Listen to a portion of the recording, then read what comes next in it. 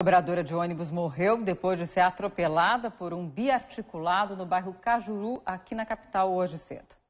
Cleusa Silva, de 50 anos, era cobradora. Fazia as folgas da estação Tumo, que fica no bairro Cajuru.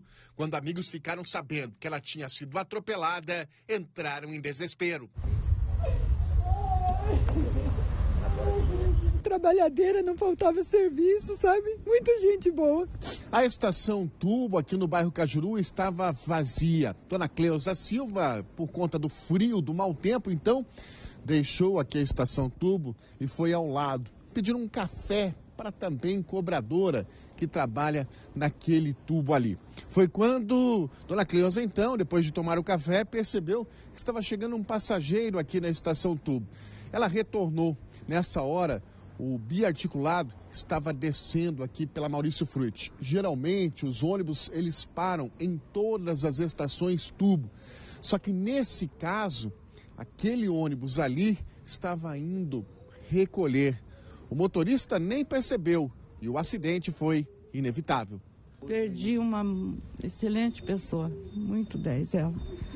Por conta do acidente, o trânsito de ônibus na canaleta foi bloqueado. Só depois que a perícia fez o trabalho é que a canaleta foi liberada. O motorista que se envolveu no atropelamento foi levado à delegacia para prestar esclarecimento. O motorista vai responder em liberdade. E mais um atropelamento foi registrado hoje à tarde aqui na capital, dessa vez envolvendo um ônibus ligeirão. Quem tem as informações para a gente é a repórter Juliane Cuiava. Boa noite para você, Julie. Como é que foi esse acidente, hein?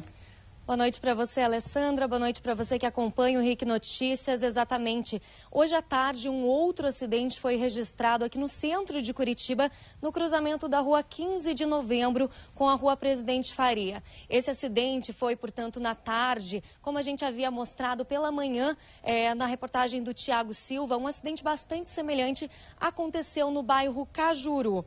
Nós acabamos de mostrar, portanto, que uma cobradora morreu ao ser atingida por um ônibus é, também aqui na capital. Sobre esse segundo acidente, a vítima, uma mulher de 55 anos, foi socorrida pelo CIAT do Corpo de Bombeiros com ferimentos moderados e encaminhada para o hospital. O motorista do coletivo foi ouvido pela polícia, mas disse que não conseguiu evitar esse segundo atropelamento. Portanto, essa mulher de 55 anos está no hospital recebendo tratamento e os dois motoristas, tanto o que causou esse acidente no período da manhã, quanto o que causou esse acidente no período da tarde, vão ser ouvidos novamente pela polícia. Um processo vai ser instaurado para verificar, então, se eles tiveram ou não responsabilidade sobre esses dois acidentes, um que vitimou uma cobradora e esse outro em que a mulher está no hospital.